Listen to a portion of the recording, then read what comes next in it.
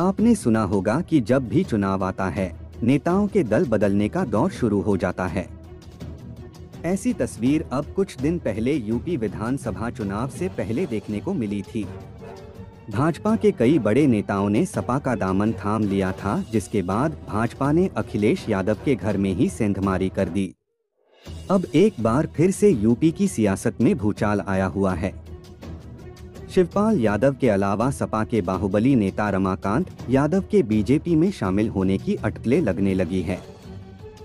UP में विधानसभा के बाद अब एमएलसी चुनाव 2022 की सरगर्मी तेज होती दिख रही है।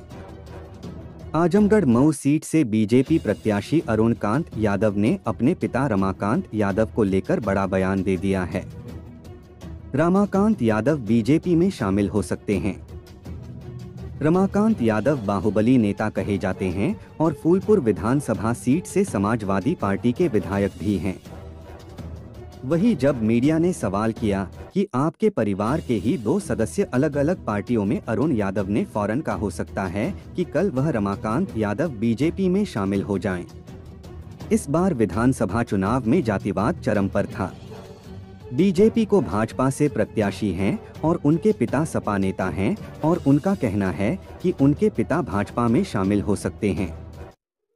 उसका कारण यह भी है कि विधानसभा चुनाव के परिणाम आने के बाद सब कुछ ठीक ठाक नहीं चल रहा।